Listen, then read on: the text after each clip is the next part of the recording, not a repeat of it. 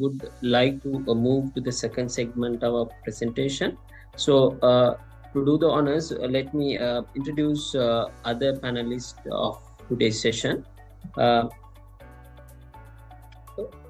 Joining with us, Mr. Anuruddha Gamage, Head and General Manager Human Resources and Corporate Sustainability, Kelani Valley Plantation PLC, which is under Hayleys Plantation Sector Sri Lanka. And also uh, Mr. Adrian Pereira is a non-executive director and Practice Holdings Limited. Uh, so uh, with the introduction to uh, to session um, facilitators and also our main uh, facilitator is Ms. Shushani Ranasinghe. So I would like to uh, take uh, questions. Uh, so first we are starting with Mr. Anuruddha Gamage. Um, so can you can you elaborate about your free thoughts on the experience and the background uh, about the topic that we are discussing today?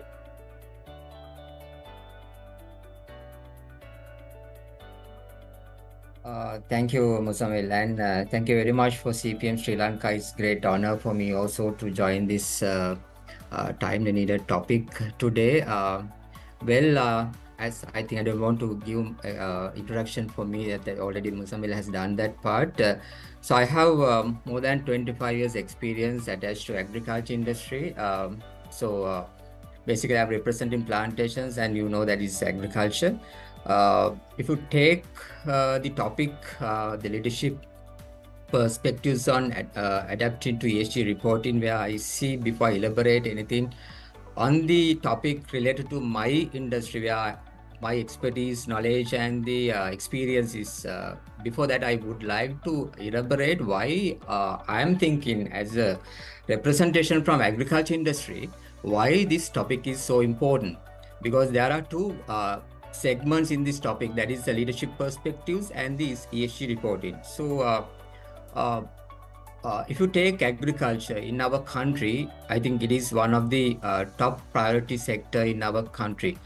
For for uh, uh, basically uh, the agriculture sector is fundamental to food security. You know that meeting the growing demand for nutritious, affordable, and safe food for uh, 10 billion people by 2050. That is a huge task to the entire agriculture industry. And also, if you take the significant impact on sustainable development uh, practices related to agriculture, especially environmental uh, intensive use of natural resources such as land, waters, uh, etc., etc. So uh, all those things matters uh, for me uh, for me to uh, uh, get a kind of a high priority on this topic. Uh, why the environment, the social, and the governance governance part is these three pillars are really important in ESG. Uh, where I'm uh, on my definition, the uh, topic says ESG, but I would like to elaborate it little bit more than that. On my definition, it is a double ESG because I want to take out the economic part separately because it plays because we are talking about corporate world end of the day all these factors has to be accumulated in one basket. Uh, as uh, ishani mentioned that okay we we we are not uh, at the moment the current uh, corporates are not mainly focusing on the financial kpis but for for you to sustain the business you need that. But the what is the demand for the uh, entire value chain across the globe that they are deviating from the uh, traditional uh, expectations of the corporates for an example, if I uh, uh, take some examples of uh, uh, uh, certain um, researchers, the certain literature uh, findings, the evidence, uh, according to uh, the uh, 2023 uh, uh, uh, uh, Finders statistics that di- discovered that 76% of UK customers will stop buying from companies that don't care about how they treat the environment and that is uh, really applicable to our industry as well. For an example if i take plantation industry specifically under agriculture sector the buyers perspective especially from european uh, union countries they don't want just a product and service. They they want a, a product uh, the the concept behind the product the conceptual framework behind the product and services.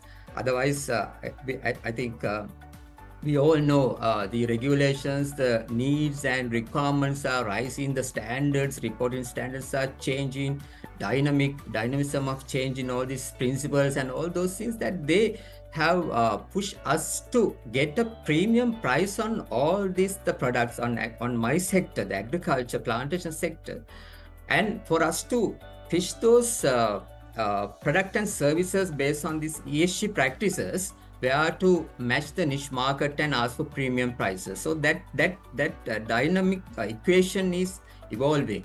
So I think there is a, a strong need for uh, uh, a strategic WSG framework for each and every company, especially in my on your question. Based on my experience in my industry, it's it's a mandate now. As we know that 2025 January from European Union Green Deal, that you can't excuse if you want to be uh, uh, competitive in the European market for especially agri-based products. No way that you need to adhere. It is way beyond the greenwashing. Just a simple concept beyond CSR or whatever ESG reporting is not merely will not adapt, merely not will accept. So we need to face that truth that is untold untold truth. So we need to face as corporates uh, on a very uh, strategic vision uh, to report your ESG. And uh, Muzamil, uh, the top part of the of your topic, the leadership, you can't have magic end of the tail without a proper uh, visionary leadership to drive a proper WSG framework. Thank you.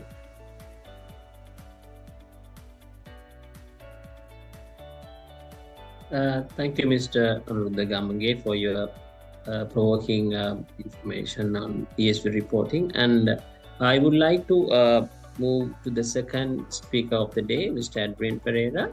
So uh, we would like to know about your experience on leadership perspective on adapting to ESG reporting with your experience. Over to you, sir. Thank you, Musafil. Okay, my my experience in highly diversified industries, from financial services to healthcare to agriculture. So, and being a former member and committee member of ACC and CIMA. So, uh, my experience in uh, ESG reporting, yes, I do agree with all the other speakers. ESG is an important thing, especially the environmental and the social side and the leadership sides and the governance sides. Who I agree. But when you go up in your career ladder, you see there's a the I would say, what would I say? I would say the the reality becomes different what you see. Like Professor said, the social aspect. We have seen, although the uh, society, I mean, Sri Lankan context, let's look at it. There are a lot of high unemployment, high cost of living, high poverty rates, but still the corporates are making, I mean, huge utilizing that same despite exchange rate, interest rates, costs coming down, not passing on that benefit to the society, making huge, you call it uh, profit gouging. So, which is creating a social unrest. It is creating a social unrest. This is the bigger problem than ESG. We saw what happened in 2022. So, that is important in a leadership point of view at least question look do we need a 60% margin if anybody says because i have some in-depth information because i the industry i have been because i have diversified i see some companies are making 40 50 60% margins before the say Aragalaya or covid when they were make 20% they were happy now they get the opportunity and make 50 60% more which is which, is it necessary i mean okay fine shareholders okay but you don't want to create a social unrest. The other one is, I would say, a person who has organized this competition, whether ESG reporting has become another reporting or another award. We have a lot of consultants who do. Sometimes a company has not even planted a tree, coconut tree, and a consultant does a fantastic report, and it's a award. we have to be honest with ourselves, right? So the leadership, board leadership must take a firm. Sorry, I had to be the devil's advocate here. Board leadership and senior look. Do we need to just to go for the award, or are we really going to look at the society?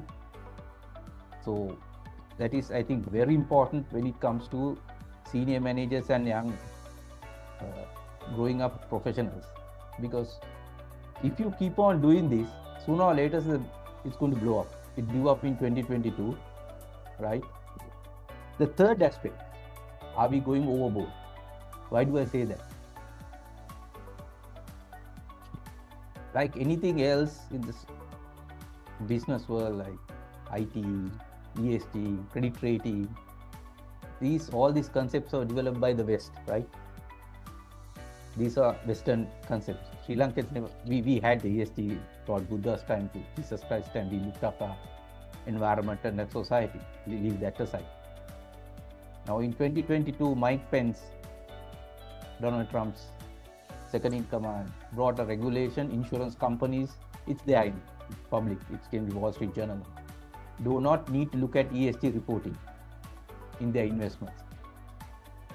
And they have also said the big boys, the Citi, the Bank of America, Santander, they do not, they have not spent anything for these, what do you call, COPE, COPA commitments. So you have to be careful when you're selecting these, some of these things. Some of these Western concepts are sometimes not in favor of us, the Eastern culture. We have been practicing that long, long time ago. We have been practicing through our cultural heritage. But some of them we have to be careful. The most difficult thing in leadership is is ESG reporting is a reporting. Are we going for a competition or are we really doing from our hearts? And we, we need to look at that aspect at the end of the day. Do we need to get a consultant? We, usually, I know, okay, I was been in the corporate sector. I know who are the consultants are who are doing these fantastic reports. So that's fine. Uh, Let's say award ceremony, it's a separate topic, right? But how many companies are actually doing so, benefit to the society? And they are, are they, are we creating a time bomb? Because you keep on skimming, skimming, skimming, the society sooner or later it's going to blow up. It blew up once. So I think those are factors as growing up. I I'm sure I understand some of all of us are working employed, so we can't go up against bosses. They will tell you if you ask him, look, you go and renovate a school, you ask him, give me 20 million to renovate a school, they tell you, you jump off a cliff, better pay the consultant and get a fantastic report. We can't go, but I think in a small way at least we knew we need to look at that how we can actually help the society because that SC is a social thing, is a serious thing in Sri Lankan current context. Because of uh, various reasons. It's going to get worse, it's not going to get better, despite all these fancy stories. So it's the the heat is picking up gradually. So I think as a corporate sector, we need to look at implementation whether in a small we don't have to keep on doing huge CSR activities in a small. How many corporates, okay, have taken the initiative, okay, we will renovate 10 schools or 5 schools in and make sure they're public schools in outstation region. I don't think it will cost 1 billion rupees, maybe 10 million, 5 million. Much more less, much more lesser than the thick annual reports we print. sometimes one kilo annual reports we print. So if you do that, 220 corporates or 200 at least take corporates it. We have ensured that 200 schools are in it. Each take one. Right. So I think that is something our corporate sector need to look at. Over to you, Musa. Yeah, thank you, Mr. Adrian, uh, for sharing some bit truth about this topic for today. And uh, with that, I am moving forward to uh, Mrs. Shani Ranasinghe. Uh, so, based on your experience, can you uh, just take through us on how the practice works in corporate world. Over to you, Sishan. Thank you, Muzamil. So I think I'm going to speak to you uh, in line with um, how we operate at HEMAS. So at HEMAS, ESG or ESG reporting is embedded within our business model. It's a consideration that is taken into every business decision we make, and it's it's almost taken as a management principle. So because we have embedded it so much and entrenched it across all our operations, what we have seen is very positive results. So one thing is definitely, as I mentioned before, it has. I know it seems like I'm always talking about risk, but yes, uh, one of the key parts of ESG is to mitigate the risks you have. So it has helped us with that. But also, it has also helped us to identify any improvements we need within our business operation, and also it has helped us to. Um, kind of bring forward and innovate. It's also been a very key role in our employee engagement activity and also helped us attract top talent. But one of the main things that it has helped us is all our initiatives have now been aligned to our business focus areas and our interests. So this means uh, you will very rarely see HEMAS or other organization I work in doing a project that does not have a long-term impact or does not have an impact on our ESG agenda or our strategy we have in place. Of course, this changes, I must say, during like the last few years with the economic crisis, there was a lot of work that we did in terms of emergency response. But all our initiatives, all our business decisions, all our actions have been aligned to the strategy we have in place. And this personally, from what I see, has helped our organization grow.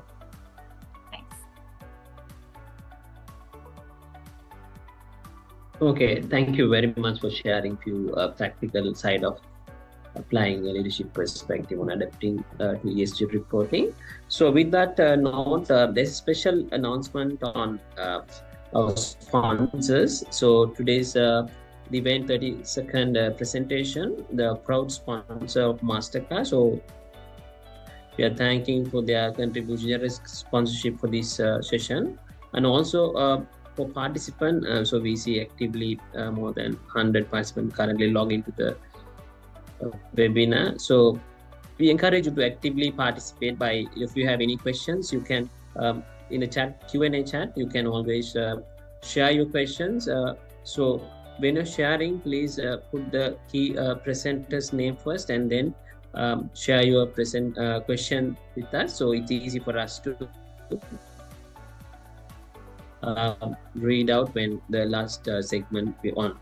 Uh, so with that note, I move to the second round of panel discussion. Um, so uh, here we will discuss on certain questions, selected questions from all these uh, three speakers from corporate presenting corporate sector. So first start proceeding. Um, I would like to go with Mr. Uh, Adrian Pereira. Uh, uh, the first question, uh, from a Sri Lankan perspective, so how do you view the companies adapting to ESG in their companies, ESG reporting in their companies? So we would like to hear from you, sir.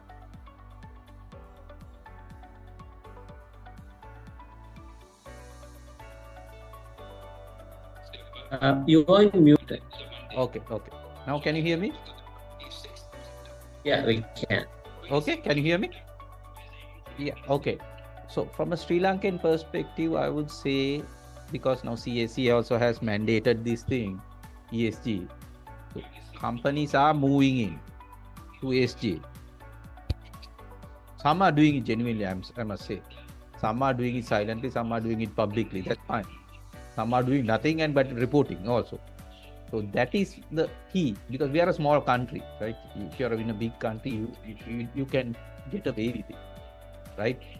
Right? But Sri Lanka is a small country and a volatile country, right? So I would say the Sri Lankan boards also not more than the, the younger management grade, they are educated like all CIMA, C, Chartered, CMA, CFAs, they know. They are educated uh, the management grade. But at the board level, although they talk about it, it has become more of a, I would say, award kind of thing. How many awards we can bet, right? So that's why you can see the annual report becoming bigger and bigger and heavier and heavier, right? So I, I, I think the important thing, the upcoming managers and CFOs need to educate the board is okay. What they need to educate is that we need to at least do ensure that ESG is to, is implemented. I know this is not a sometimes the the profit aspect of it is uh, is a challenging thing because it's a uh, what Ashman is you do not see the bottom line benefit of implementing ESG immediately, but over a period of time you will see the benefit. So the challenge is how to get the bottom line and how to convince a board being a director okay i can tell you how to convince a when the cfo comes and says okay we have to invest in this. Convince the board okay. Without numbers you have to spend x amount of money. So that would be the challenge for any senior manager any cfo ceo and supporting that kind of resolution. So which i think going forward but uh, I, on the other hand i would say the since the younger guys are getting educated and they are well aware so they should be able to do it over a period of time. But sri lankan corporate sector over a period of time has caught up with it. The younger people they're not the i'm not with all due respect the some of the senior directors are still unaware. So i see in some of the boards if you look at even the SEC or CSE regulation for governance code is also not uh, uh, properly implemented, right? So now, if you look at the CSE regulations from uh, this year October, over 70 years, you, most of the uh, you are not eligible to become independent director, right? So now, how how are we going to match that? Usually in a board, it is a boy, it's a club that comes in, right? So you you need to find new people brought in. So you have to either bring the younger fellows in, who might not agree with the old guys always, right? So you have to be careful on all that. So I overall I think the uh, corporate sector is adapting. It's a gradual change, but it's a change is happening. At least we are moving one step at a time. So I think I think uh, going forward we should be able to bring some credible change. Over to you. Okay, thank you uh, for that insightful information. So, um, so I am moving to the second speaker, Ms. Ishani uh, Anasingha. So, how can we ensure that our ESG reporting is credible and transparent? Um, can you take us through? Sure, thank you. Um, so, I think uh, your report to be credible and transparency is very uh, important to have like for your success of that report. So one of the first things you need to do is to uh, use reliable data sources. And here i think it's important that your esg teams or the teammates who's providing that information understands why this information is needed for and what it will actually do. Because this uh, we need to explain to them that this information is going to be used in, from a reporting purpose and also as a B uh, to understand what a business performance is going to look like. And also another thing that's important is that you follow an established reporting framework. So this will give you guidance on how you need to do your reporting in terms of what your material topics are. And then also it's important that you uh, obtain independent verification of that information you're reporting.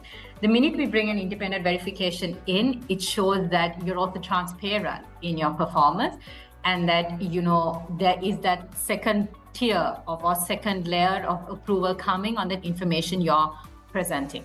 Also, I think it's very important that you're open in your communication to all your stakeholders on what your ESG goals are and also, when you're presenting your report, you present it against those goals. So you're able to kind of mark where you are each year according to those goals that you have uh, kind of uh, told your stakeholders. Thanks. Uh, thank you uh, for the information, Shani. And then I move uh, to Mr. Anuruddha Gamage. So, uh, so the first question is about why ESG reporting is important for companies. Um, yeah, Musamil, I think uh, before that, I think I let me explain uh, certain things on. Uh, uh, for, for the moment you forget about this particular topic, the two aspects.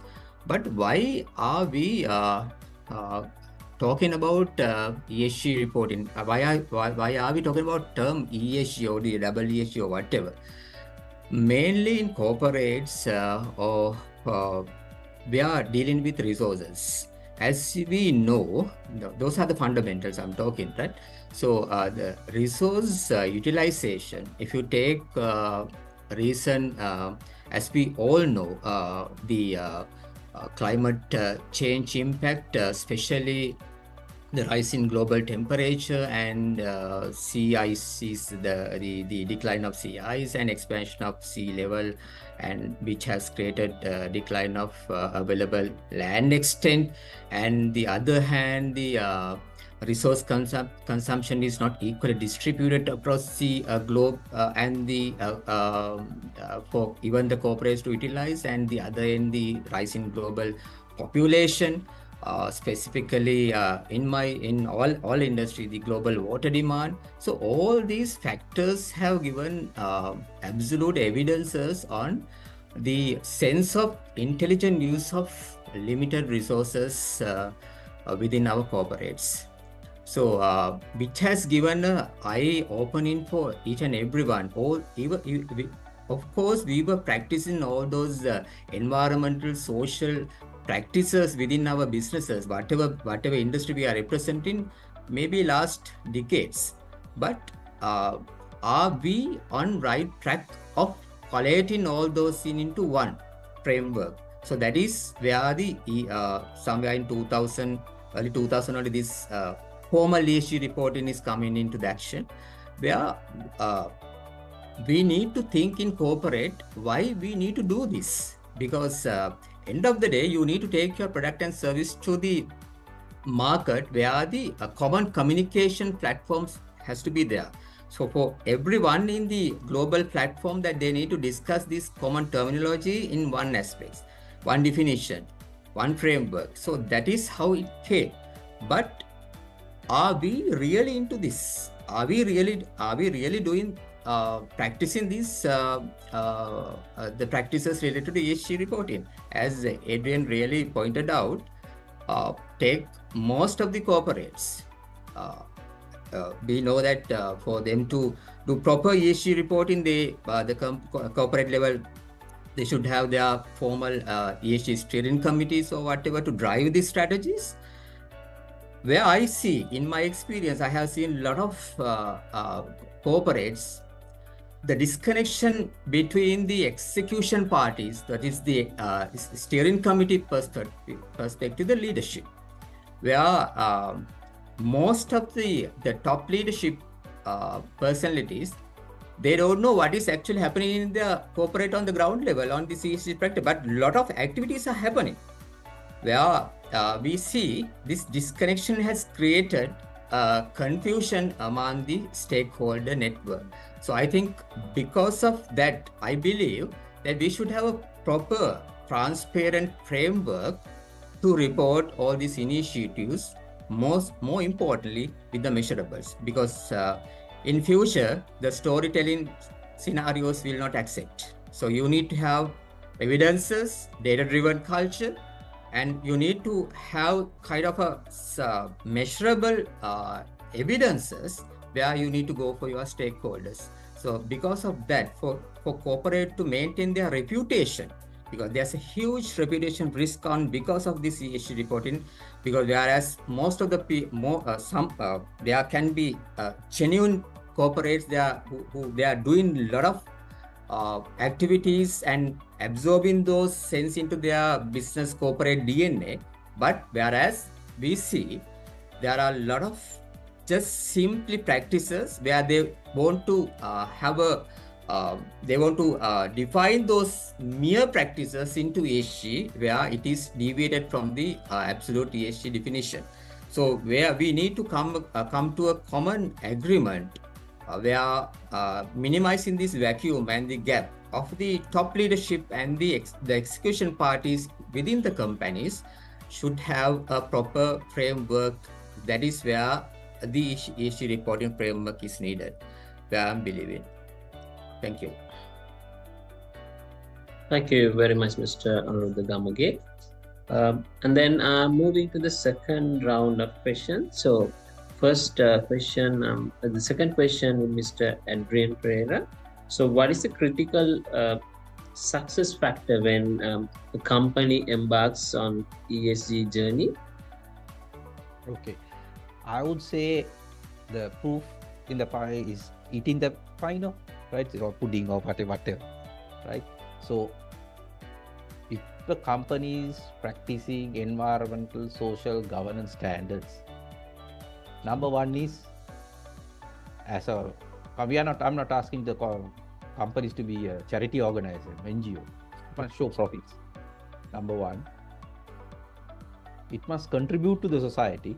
Number two, it must pay the taxes. We all know what the government is up in arms for not paying the taxes. So that shows there's a serious issue on that, right? We all know that society has social structure fabric is breaking up now because of cost of living, because people don't have salary increments, right? We, we, we saw during tsunami, I mean, COVID time, how many companies let people go. Understand, understood. Although they made profit, did they re-employ? You all know that. So I think end of the day, ESG reporting is one thing, ESG practicing is another. So we need companies need to show okay, we are also practicing that, and there's a bottom line benefit. So that is how to get that bottom line benefit is up to the management. Not to get a consultant, okay, I can write a fantastic annual report, right? PDF copy, put some two pictures, right? That's not it, right? So how to show that bottom line benefit to the board, right? Today I show this, okay, this will give the profit in two years, right? We are not asking immediate benefit. We saw some time back certain government official try to do organic agriculture and what where we ended up with right? So we shouldn't go to do, do those kind of uh, stupid things. You know it's a crazy thing. As a person who has been doing organic agriculture i do agree it's good. But overnight no. You made the whole country starve. So we can't do that right? So those kind of decisions we have to select things that will benefit the society over a period of time. So the same way in the sense of corporates, we have to ensure the company benefits over a period of time and start implementing those things. Maybe education, maybe healthcare, maybe self-employment, right? So those things will benefit because when the society, when people have money, when the society is happy, only they will help the, they will buy the company's goods and services because if the company does uh, does not have the people does not have money then obviously companies also does not have money. Right? So i, I think uh, uh, end of the day the proof is by investing in esg activities whether you can the company can benefit and the society can benefit so how to prove that is up to the senior management. How to quantify then prove it to the board. Assume the board is, I mean, being in a board director, I can tell you sometimes, okay, right, fine. Uh, It gives the award, you can push it through, right? So how to push it to the board? Justify, quantify. So here the challenge is that for the C, not to write reports because otherwise the report automatically gets bumped out. So challenge for the senior management, CFOs, the CEOs. Okay, investing in this, what is the benefit to the company? What is the benefit to the society? those two questions, if we can answer in quantifiable terms, I would say that's a challenge. That's a starting point. Over to you.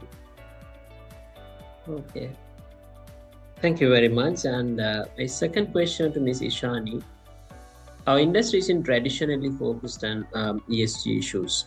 So how can we make ESG reporting relevant to our business?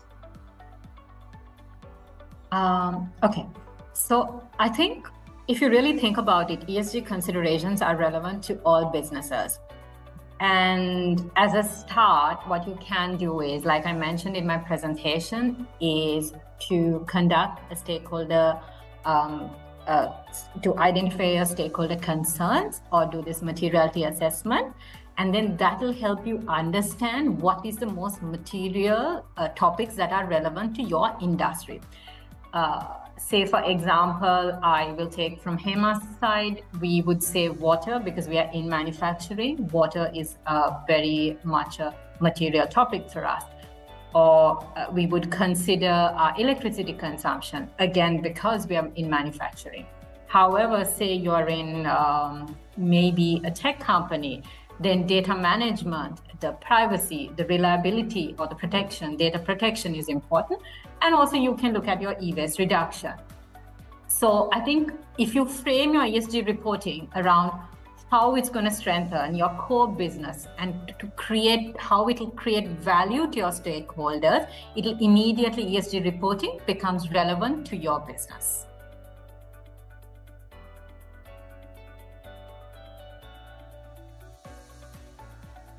Okay, uh, thank you very much for that uh, insightful information. So, I uh, would like to hear from Mr. Anuruddha Gamage on what is the role of ESG in corporate business work. Can you elaborate a bit about? Um, yeah, actually, uh, Adrian, uh, on uh, yeah, uh, as we know, the ESG is a set of standards, the policies and metrics used by the organizations. And uh, those are really important for the shareholder, uh, stakeholders uh, within the organization, especially the investors to uh, access their assess their impact on both the environment and society. If I take an example uh, on my industry, uh, if you take these three pillars uh, on the topic, the environment and social, we uh, been agriculture industry, the environment and social, especially plantations for us is the social is more social and environment is more uh, concerned. The things that we are engaged in businesses in plantations that uh, uh, for, if I take an example, uh, social is social is for us is in our business not only for uh, the people who are working with, within our plantations. Uh, we are managing more than 13,000 hectares, the largest uh, uh, extent in the country. with more than 21,000 direct workforce and another 140,000 plus plantation workforce, the community.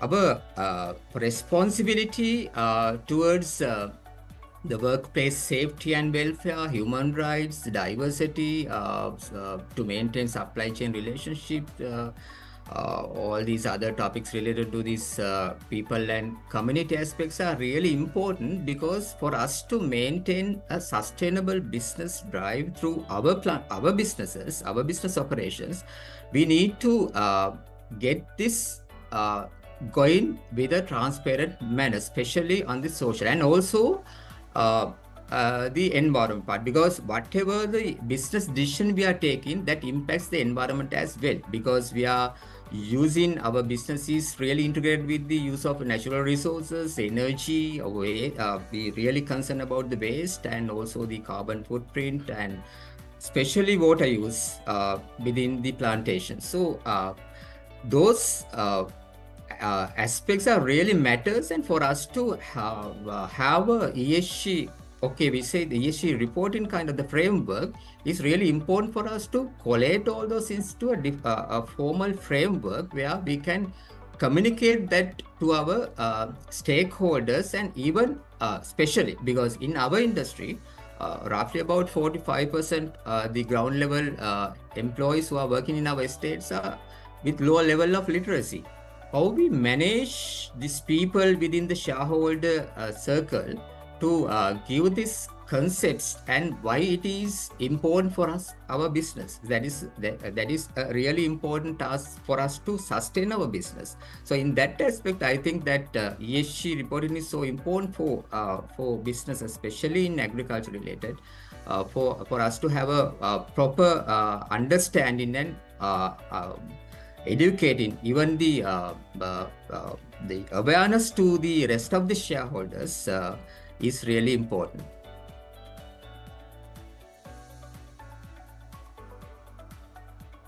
Okay, uh, thank you very much. Uh, kind reminder on the questions Q&A chat box is now active, so you can send us a question. Uh, better mention um, to the panelists who are directing the question. Please mention the panelist name and then um, share your questions. So we will take in the next round uh, discussion for Q&A session.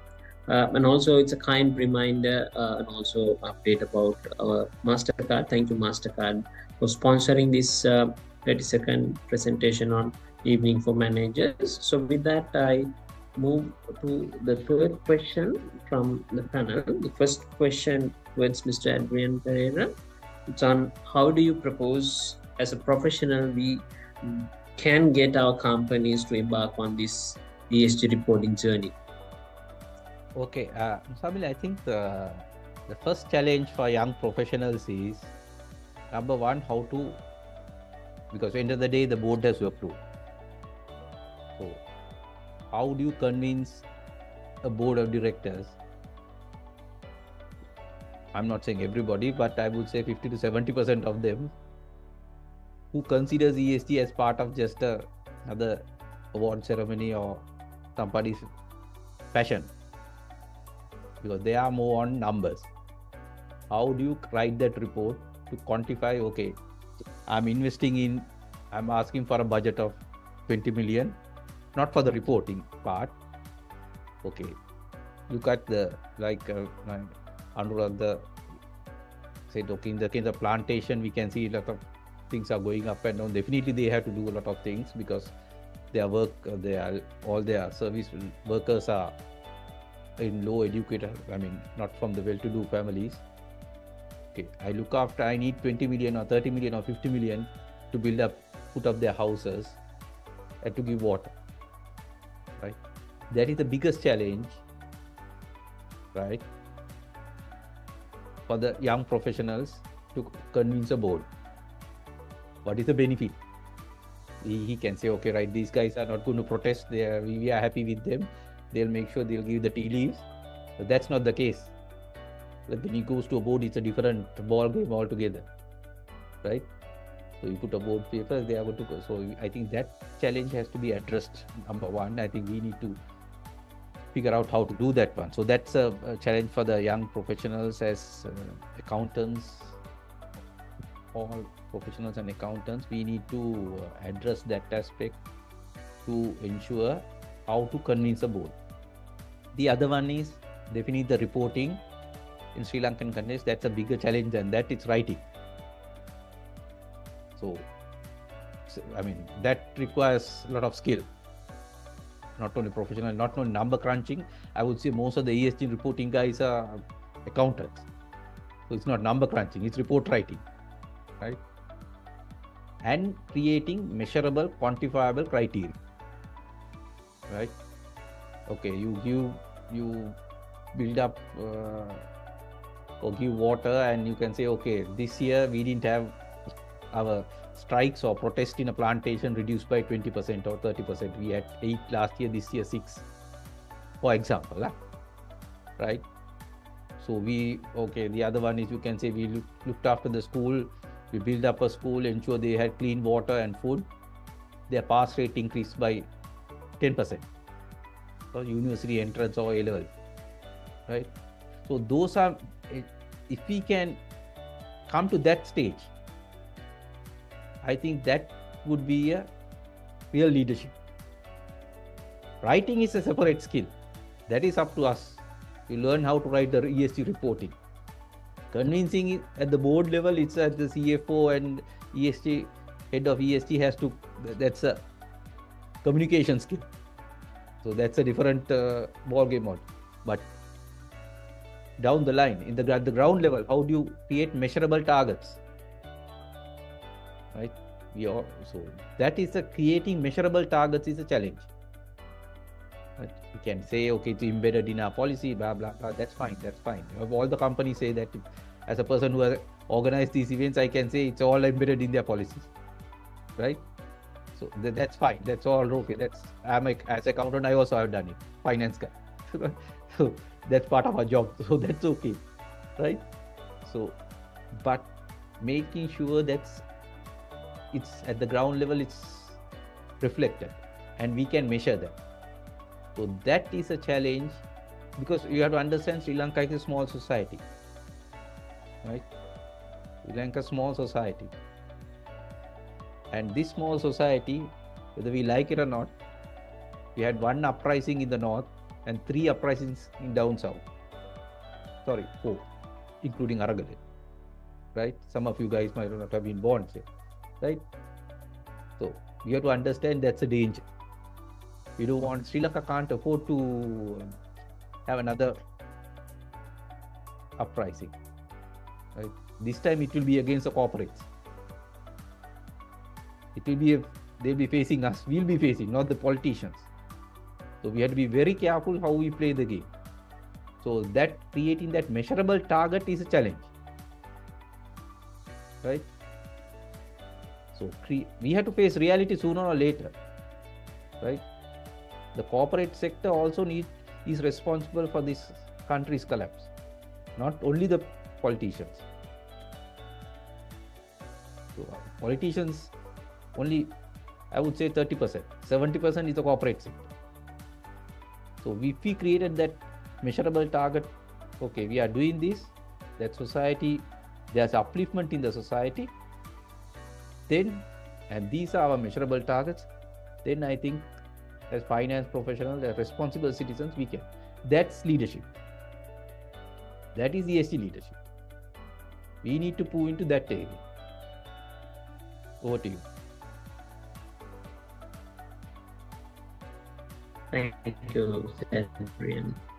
The insightful information. So, uh, this question uh, Mrs. Shani uh, So, how can we get buy-in, especially with all levels in organization, uh, on the ESG initiative? So, how uh, can practically, you know, do it? So, okay, thank you. Um, so I think if you look at our senior, if you look at your senior management, I won't spend too much time on it because Adrian spoke a bit about it as well. How to get the buy-in for from it is one thing uh, from a personal experience, I'm saying when you do go to the leadership team, I think it's important to say, show how ESG is important and ESG reporting is important in terms of business continuation and also to address the environmental and social impact we have on the communities we live in or the communities we operate in.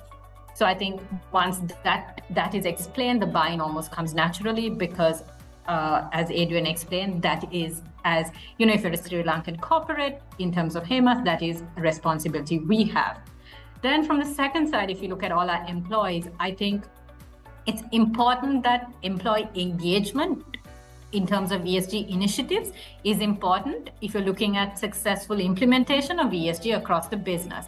So one of the things you can do is uh, you can clearly communicate your company's ESG goals and how they come connect to the overall mission and vision, which each of your employees will be aware of, or they would have some idea of what are those targets that the company is chasing and also you need to provide them training. There's no there's no point or there, there won't be much success if you just go say you know this is what esg is and this is why it's important. But they need to get the relevant training and there needs to be awareness sessions on why it's important and how it benefits each and every one of them as well as the communities we operate in and also to give them the opportunity to take part in some of those ESG initi- initiatives we do. When they have the hands on experience, they're also able to see the impact they make uh, to the locations or the communities or even to the environment that they have.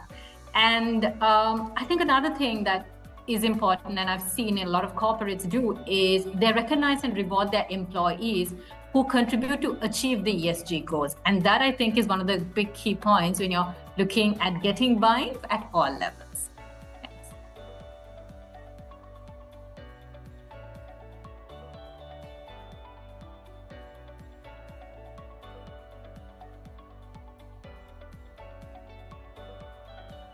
Okay. Uh, please uh, lost your. Yeah, hope it's you have answered the question, right? Right. Thank you very much. And um, the final question on Mr. Anuruddha Gamage. So, how business leaders can transform ESG into a competitive advantage amid global challenges? If, if you can elaborate a bit about. Yeah, good question, uh, Musamil. Uh, that is what we need. Uh, why uh, the leadership is there for ESG or so-called ESG reporting. Um, there, on my concern, there are a lot, but I would like to highlight the most important aspect on leadership is the transparency on uh, uh, the ESG uh, in the within the uh, within their corporates. Why I mention transparency? Uh, why the leadership asking for ESG uh, framework, ESG strategy within the company, or the simply to report ESG uh, end of the day, end of the financial year with the annual reports or whatever? Why? Be- because just merely a buyer perspective or any pressure from the other share, uh, shareholders, or just to mere just to show the world that uh, we are practicing all these initiatives. So leadership has to be really transparent and communicate effectively um, uh, within the business uh, environment. This uh, the ESG of this particular company is not just to satisfy these parties or whatever the requirements to satisfy. It is to add value into their business because as I am repeatedly mentioning, we are talking about ESG. That is a basic foundation is the intelligent use of limited resources. Whatever business we operate in the world, we are facing the critical challenges based on this resource utilization. So, what is the aspects of the sustainability, especially uh, uh, the knowledge uh, on uh, how best that we use these uh, limited resources in intelligent uh, use of limited resources and how to sustain the business is depend on how best that the leadership is taking these perspectives into their business.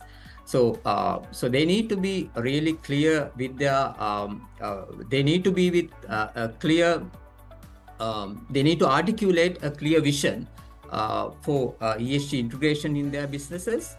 Of course this has to be include setting specific ESG goals with uh, uh, with measurables and also aligning uh, those goals with the overall business strategy. Because otherwise business will run a different uh, direction. You you will have a where i have seen these classic examples where uh, been uh, evaluator for certain so-called competitions and all where we see the um, vision is there the company vision is there. So you can see it's two alignments two directions.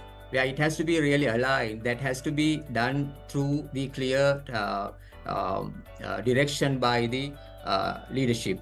Uh, of course uh, uh, by doing so by setting specific ESG goals and aligning them with the overall business strategy leaders create a sense of purpose and direction for their organizations a true direction. Not just merely show the show, show the world that they are uh, using these strategies, but also to uh, emphasize the importance of ESG in long-term success, not for short-term, just satisfy the short-term goals.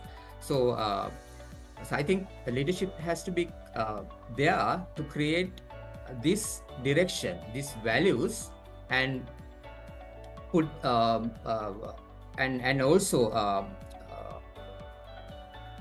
uh, how to turn the burden of increasing ESG regulations into an opportunity because now th- there's a burden uh, in the corporate world. How to turn these uh, challenges from this burden into opportunities is also a very important role by the uh, has to be uh, played by the leadership. So uh, I think there are a lot, but I would like to highlight all on on high priority basis all those those aspects, the leadership involvement in ESG in corporate world.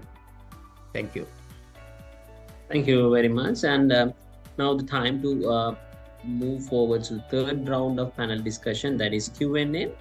So uh, we have received a few questions and there are common questions also for all the panelists here. So first question is a very common question for three of the panelists. So can uh, from yes, Anders, can you can someone uh, mention about some challenges your organization has faced in adapting to ESG reporting? It's a very open question for anyone can answer from panelist.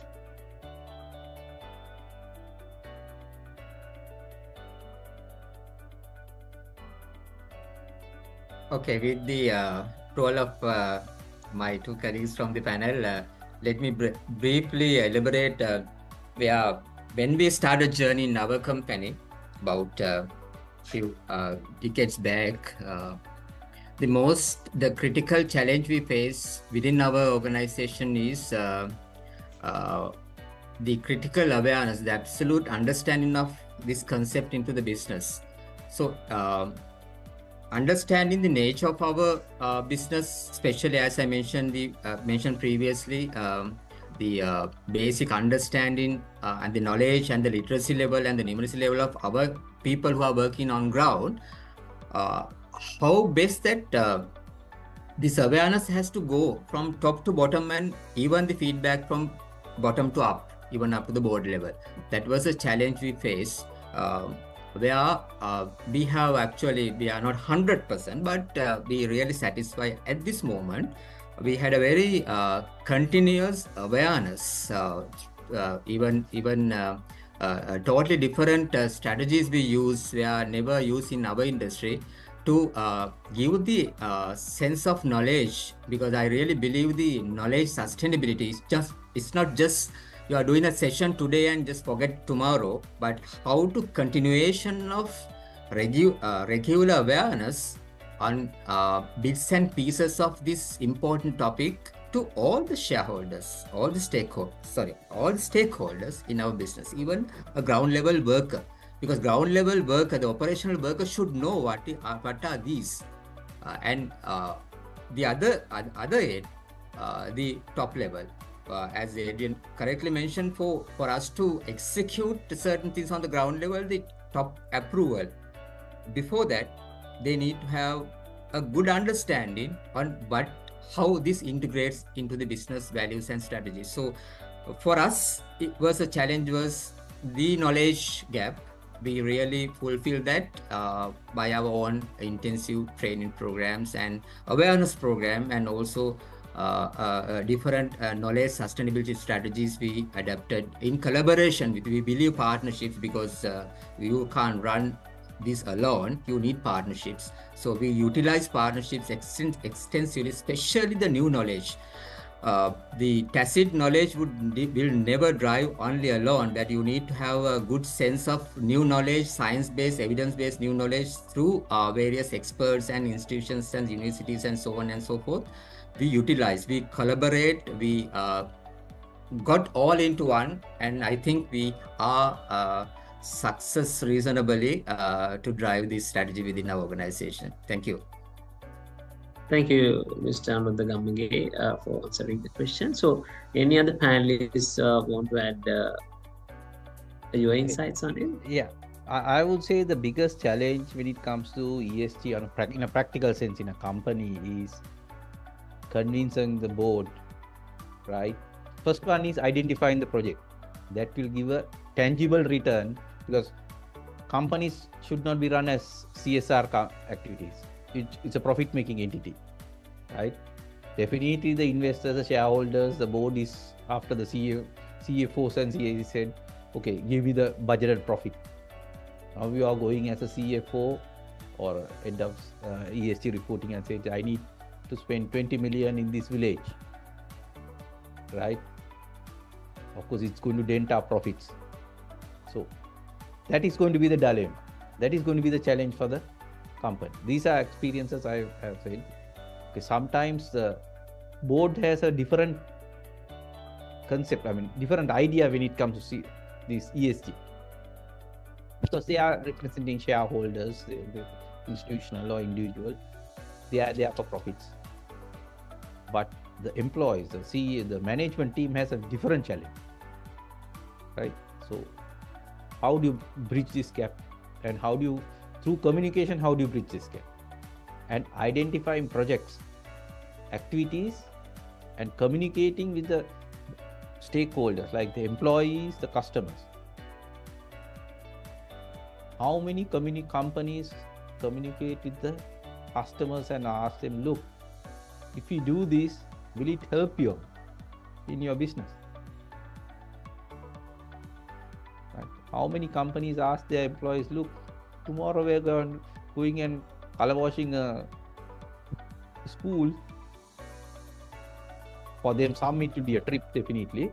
So that leaves those guys out. Or how many will be going because we'll have to go because of part of the push uh, the boss is there. So we need to have that communication that buy-in from the from the bottom. If you don't have that buy-in from the bottom you are going we are going to it's going to be another reporting award. So that communication identifying the projects that are that will bring tangible benefit to the society as well as for the company and communicating that. It may not be you will not get the return sometimes overnight this financial year maybe two three years down the line to pay dividend. So how do you convince a board? So that is a challenge for the head of esg cfo ceo so that challenge i think is like i said is the biggest challenge. Because when it goes to the board it's three or four guys against a whole heap of seniors sitting around right?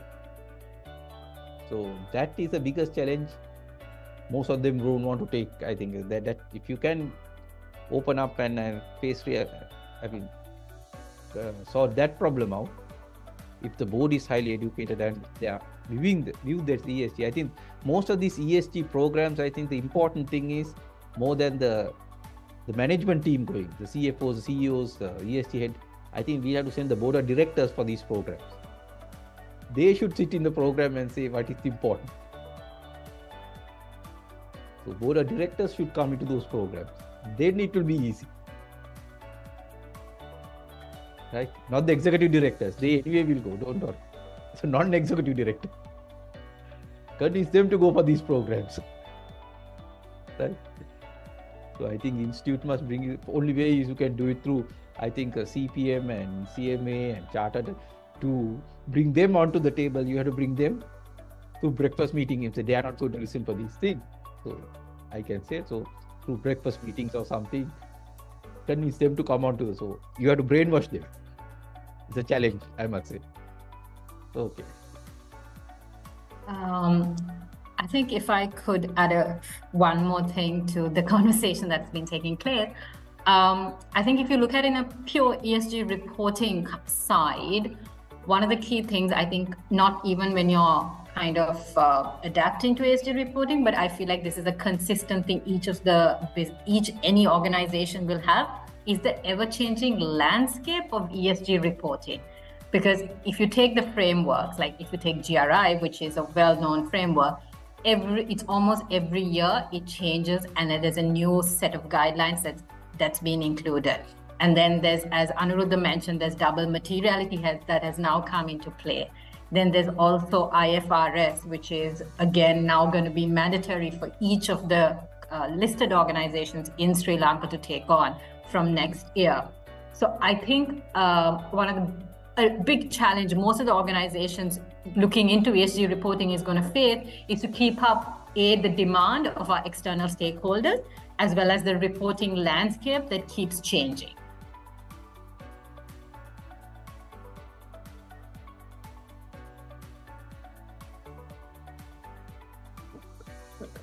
Uh, thank you, uh. Shani, for that uh, insightful uh, practice practice answer. And also, uh, we would like to uh, thank you for we are getting more questions. So, uh, I will move forward to the next question. Uh, so, how does your leadership team engage with stakeholders?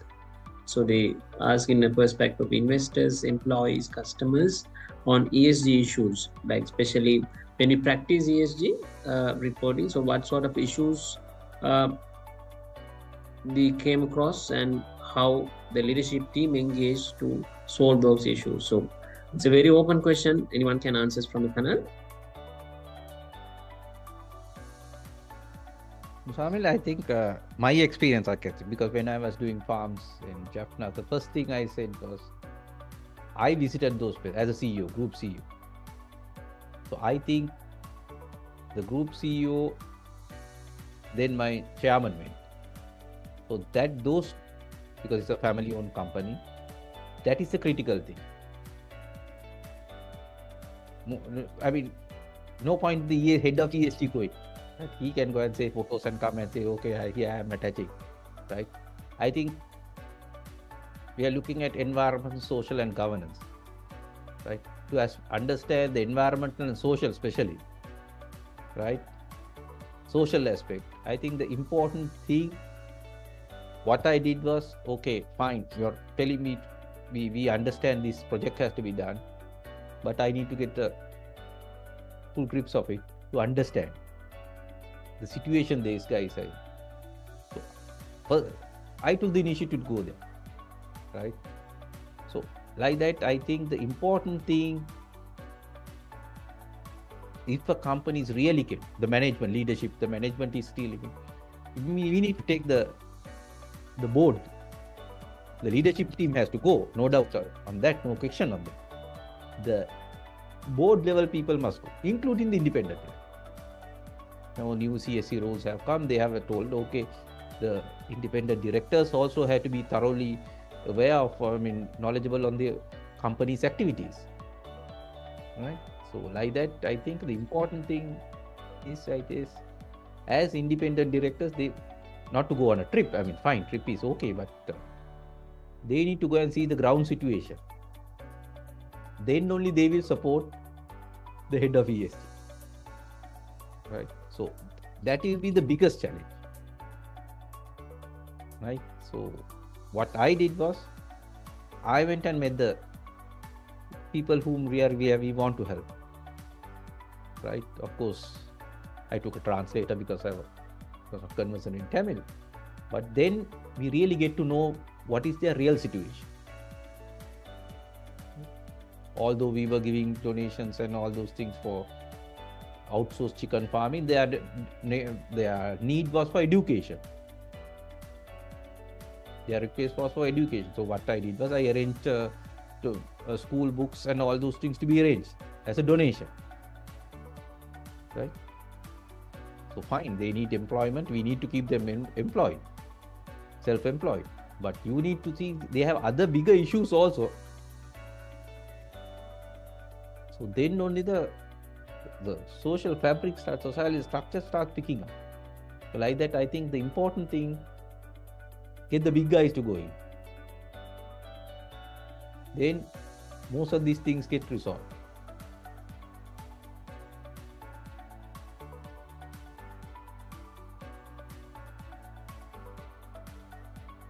Okay, thank you very much. So we are moving to the next question. Um, so the question is about uh, now, as a leader, what sort of future trends do you foresee in ESG reporting? And how's your organization preparing for them? Uh, again, it's a common question direct to all uh, panelists, so anyone can answer. Uh, again, uh, Musamil, I would say these are all Western concepts. But Sri Lanka, thank God, we are blessed. We have natural water, clean water, and we are surrounded by ocean. Right? But we have seen in US and other countries, there is Western countries, water is a scarce resource, it's expensive. Right? Sri Lanka, even if, if you're walking on the road, you uh, give a little bit of water, you will give it. You will not going to charge that my fellow but in, in the western world you will not get even that right so i would say going forward there's going to be ESG is important, definitely, more than reporting, practicing, right? But we have to be careful when we are implementing certain things also. It can backfire on us. Like I said some time back, a political leader tried to implement uh, organic agriculture, which put the whole country on a had to go, where we created a food scarcity, right? So we had to be selective. What we are selecting from taking from the West, right? We have to be selective. If we are not selective, we can create other social issues, right? Tomorrow we can say no, we can cut, close off all the uh, coal fire plants and the then how are we going to get the electricity, right? We can tell we know what happened with organic agriculture. It became utter flop. Luckily, the whole country didn't end up burning itself, right? So like that, we have to be selective. Whatever the West gives, we should not take it like ice cream. We have to be selective what comes with it. Then, like I said, even U.S. Mike Pence, he's the vice president. He was a vice. He was a vice president under Trump. So tomorrow the US can come and say if Trump comes in power, look, I don't care ESG, you go a kite. I'm going to implement anybody without ESG. So they have other vested interest also in that game. But we have to be selective and what's good for us. So that is a uh, like I said, in, after this whole thing collapsed, there was an article in uh, Wall Street Journal how certain person was taken into I mean, believing that organic agriculture, why Sri Lanka should adapt, right? So we have to be careful in what we are selecting. Whatever the West gives is not the correct thing. We are we have to understand we are a developing country now. We are in a worse situation than we were in 2014 or 15. So we have to be careful. We are what we are selecting, right? So that is the critical part that is not only for the corporates it's for, for also for the regulators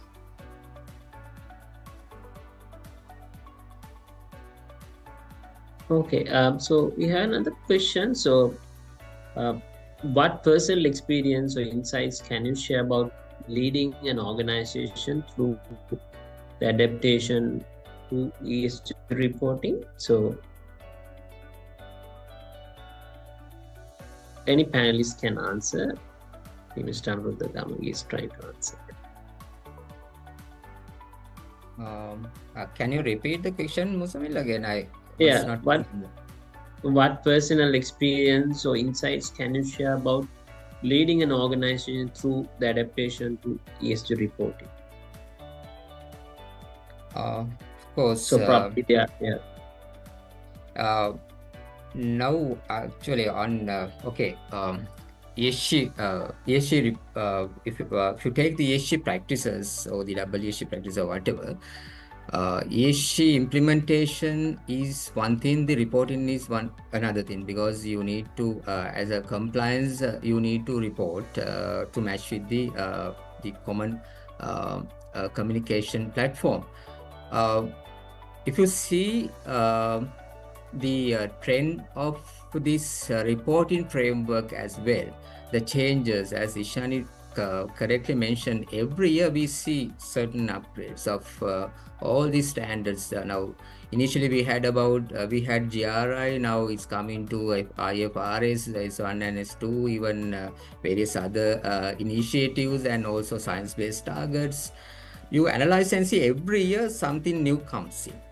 So uh, we need to prepare, the team need to prepare the knowledge uh, and uh, all those things are really matters if we are if we are really going to match this with uh, uh, uh, the global compliance requirements. So how best that a leader's role to transform this knowledge in a practical sense into the entire team is the most important thing that I believe if we want to have a real absolute sustainable strategy on this ESG reporting so uh, just you can just record it but uh, analyzing all those standards and various and and the other end this is my personal thinking what is the end of this uh, uh changes I can't see even a practitioner of ESG uh, within this. I can't see next year it will another set of uh, advanced reporting standards.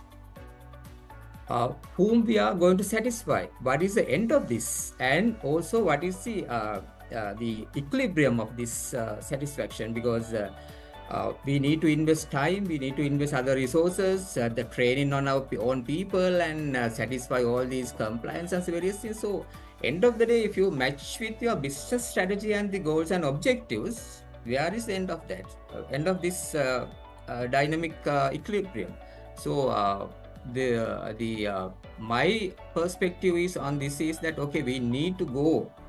If you are if you want to have a global business platform you need to go. But i think we are we need to be very very careful on uh, uh, absorbing and demanding power from our end as well. Uh, okay we are investing time and resources into these things and end of the day what we are what are we going to get back? So i think uh, where that is where that uh, we need to critically think and practice if we want to have a uh, absolute practical uh, framework of ESG. Otherwise, it's just purely you are reporting, as Adrian uh, clearly pointed out.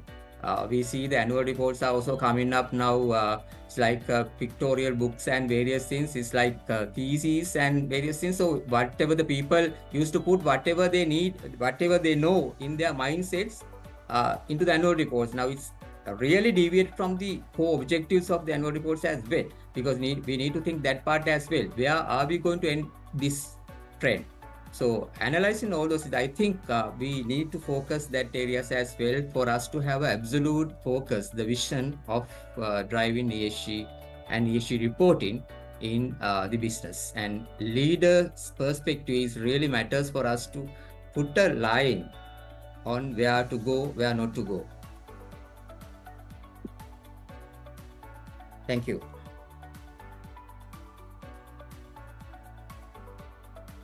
Okay, thank you very much. And then uh, again, uh, another questions, uh, Mr. Anuruddha Gamage. So uh, it's mix of practice and theoretical perspective, I would say. So practicing ESG reporting can be successful only if the top management uh, use economic performance management. So he's quoting Peter Drucker also. Um, so uh, the question is about what is your perspective on that? Yeah, as I repeated it almost, Samil, you need to have measurables. Uh, that can be leadership or that can be the execution party, but you need to drive with the measurables. Otherwise, just merely practices. Uh, for an for an organization, you need to have a, a proper you really want to drive ESG, you need to have a ESG framework and a dynamic team uh, to drive the uh, the uh, dynamic team, uh, the uh, ESG uh, steering committee to drive that. And that steering committee should not consist on only just the managerial personalities, but the decision makers as well because within the committee you need to take dynamic decisions because if you define once you define the goals uh, you need to drive you need to plan you need to execute so for that, that you uh, should have a very a good composition within your steering committee. And the knowledge is vital for all the people within that up to the top level uh, even the leaders and as uh, repeatedly we mentioned the board level involvement. Because it's not just to satisfy certain parties or if somebody requested to just report or whatever no it should not be on that way but it has to be a uh, uh it has to be within the core uh, skeleton the dna within the business. So uh, the question is uh, i believe that you need to add certain things because not only the leadership uh, not only the top management whatever the knowledge has to be there for each and everyone. Uh, is really really critical brain surgery has to be um, undertaken within the corporate uh, because uh, uh, it's not only the finance head and the sustainability head is driving this. Knowledge has to be there with everyone uh, who get engaged in this circle within the corporate. So due to the time of interest so we will take the last question. So uh, again it's a very open question for any of the panelists can answer do we have uh, corporate frameworks for social impact assessment? Do they define social impact in their business plan? So anyone can answer.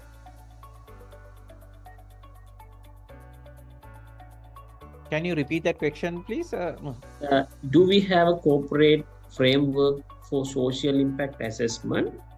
Do they define social impact in their business plans? So that is something. very, very uh, interesting question. I must congratulate the guy who wrote that one. This is what I have been trying to say. Look, end of the day, you're, all these guys are getting what is the social impact? Right? What is the social impact of the ESG? ES, forget about environment, leave aside, right? Environment, we can say we are protecting the water and all that stuff. Right? What is the social impact of any of these things? Now, if you look at uh, if there was a social impact, let's look at critically, right? What is our third largest revenue earner in this country? What is the third largest? Middle Eastern income, housemaid income, right? The poor people, right? That is what we are relying every. That is, I mean, every day we are packing them off. Sad part. So I think, to my knowledge, we don't have a framework. It's high time the professional bodies start coming out with a framework or whatever they can call it. What is the social impact of their ESG activity? So I, to my knowledge, we don't have. Right? We can say we reduce the carbon footprint we can we reduce the uh, environmental damage. So uh, that part is essential i think for the full corporate sector and for the professional bodies. How to come out with the model I, i'm not sure. So that, that to my knowledge we still don't have a proper framework for that one. Measurable framework I leave the other speakers to panelists to answer that question.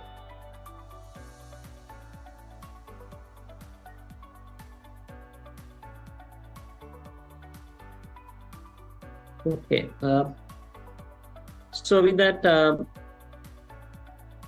answer, so we are moving the final round of the panel discussion. So it's about key uh, take-home message. So let's start with Mr. Anuruddha Gamage on your t- take-home message for our audience.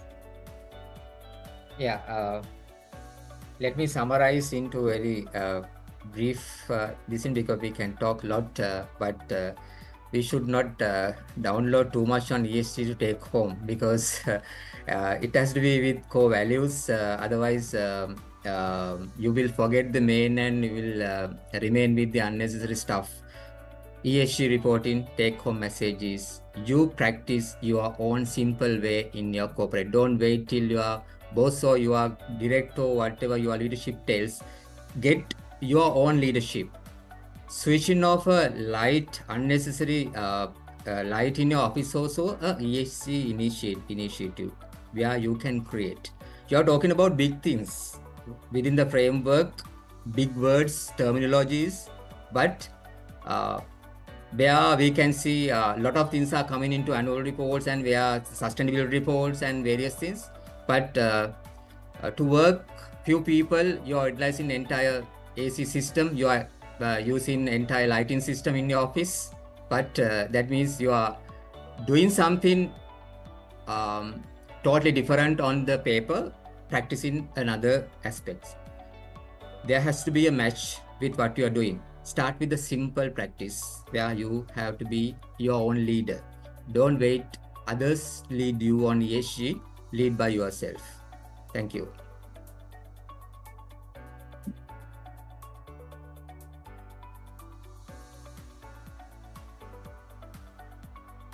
Okay, I, agree 100% with Anuruddha. So I think uh, forget about ESG reporting. Small companies can't afford to have employ especially ESG reporting experts, and even a medium company can't afford. But I think what is important is the companies and the professionals should start small. It may be a small, not planting trees or anything, right? Maybe give you help in the cancer hospital, maybe helping the helping a school, right? So like that, if the corporate sector, I think personally, I think this this must be a personal act. If you don't have the passion for this, you can't do it. If ESG is just a job for the person, then it's going to be a report writing activity. It's going to be a fantastic editor, right? So don't consider that. It should be in your blood.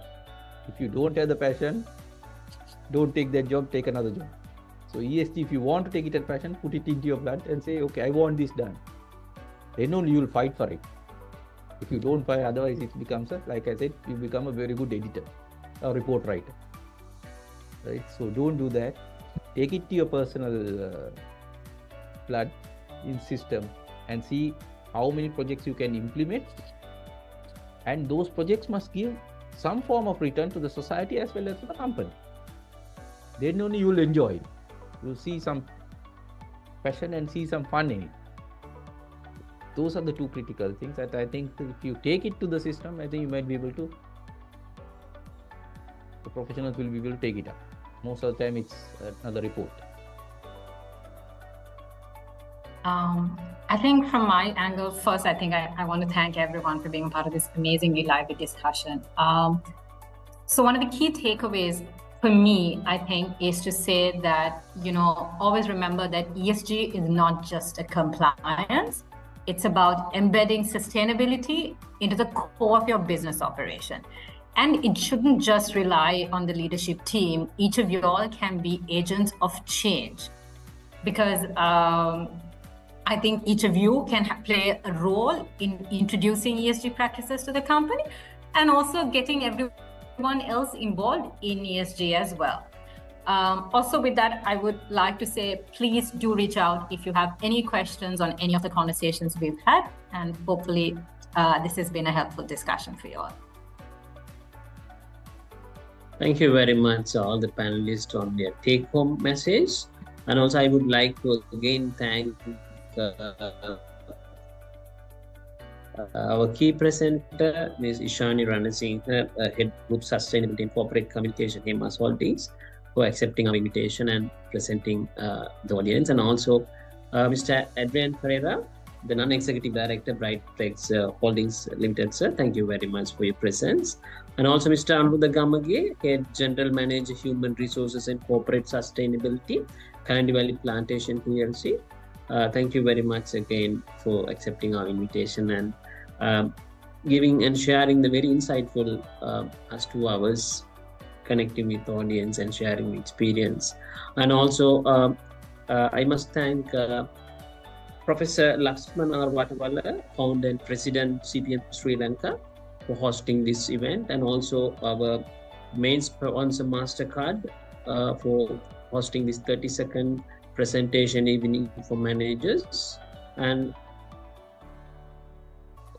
hope everybody uh, will get engaged and we, we, we try to answer all the questions you raised through from Q&A chat box. And we hope uh, you will get at least one a take home message and you do practice. It's all about start practicing. So uh, we hope we all enjoyed a very insightful uh, informative session on adapting to ESG reporting as a leadership perspective. So until we meet and join one another second 33rd presentation of evening for manager. Thank you very much